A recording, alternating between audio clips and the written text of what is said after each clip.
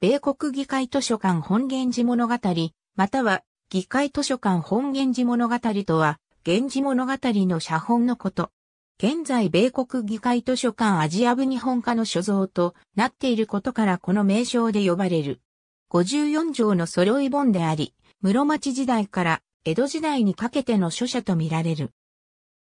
聖徳元年5月下旬日付の古筆、領中の極め札があり、それによると、本文の筆者は、五筋書中であり、下題は、三条西実高によるとされる。農政色の表紙を持つが、糊の跡や剥がされた和紙の一部が残っていること等から、ある時期に付け替えられたとみられる。本文系統は別本に属する。海外に流出した日本の文物によくあるような美術的価値の高い塗り箱に入った非常に美しい写本である。2010年1月25日から27日にかけて、豊島秀則、伊藤成、斎藤達也、高田智和、菅原育子、神田久義によって調査が行われ、その成果として2011年3月より、米国議会図書館側からの了解を得て、国立国語研究所のウェブサイトにおいて、本社本の本国本文が試験公開されている。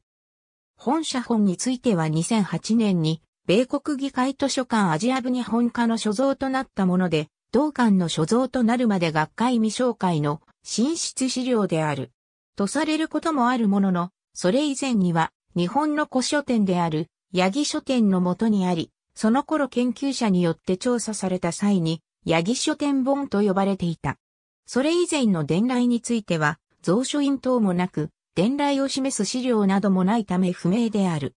本社本には、聖徳元年5月下旬日付の古筆、領中の極め札があり、それによると、本文の筆者は、五筋書中であり、下題は、三条西実高によるとされる。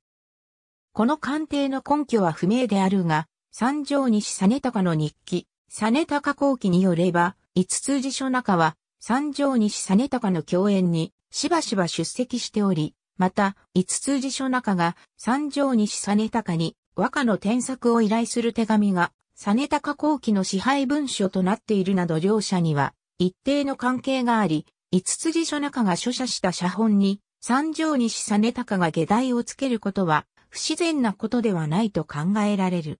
本写本の最も特徴的な点として、和歌が第2区と第3区、第4区と第5区などが割り中のように二行書きとなっていて、一見チラシ書きのように書かれているものがあることである。これは非常に珍しい例であり、従来知られていない装飾的な書き方と思われる。とされる。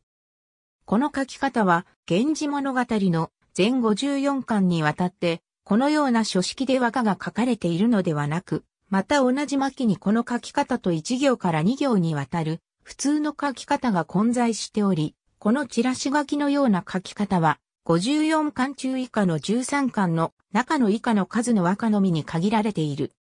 なお、このような和歌の書き方が見られるのは、源氏物語の写本では現在確認されている限りでは本写本のみであるが、現在イギリスにある源氏物語画像の一部の和歌に同様の表現が見られる。